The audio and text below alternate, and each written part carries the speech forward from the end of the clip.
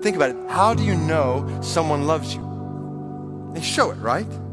They reveal, manifest, make known their love to you by their actions. Someone might say all the time that they love you, but if their actions show the exact opposite, then you might begin to wonder if it's true. Love, in this sense, in order to be love, must be made known. Jesus willingly, lovingly died for sin he did not commit, endured the judgment of sin, death, that we deserve. And uh, Heather and I would wake up in the morning before the kids got up, and separately we just go outside and watch the sunrise and spend time with God. And that first morning, I, I'm sitting there, I'm looking at the sun as it rises over the horizon.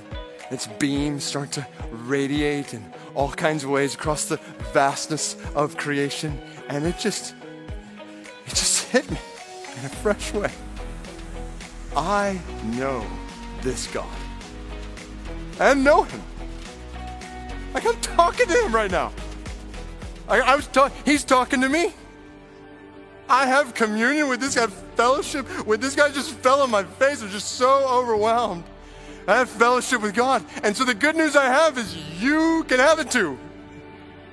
Every one of you, no matter who you are, no matter what you've done, you can have fellowship with God. And I'm just zealous for you not to miss this and the busyness of this life and all the details of your day and the pressures around you and the challenges you're walking through. I just want you to know Jesus has made the way for you to experience intimacy and joy and fellowship and union with God. Don't miss that. Don't walk through life missing that. And by all means, please don't walk through life missing that and then call it Christianity. That's not Christianity. Jesus offers you everlasting love. He has come. He's died on a cross to cover over your sin. He's made a way for you to have fellowship with God, and you can have that, that kind of fellowship with God today. Now, there's no list of things you got to go do. Now, you turn and say, I I want, forgive me my sin. I want to be reconciled to you.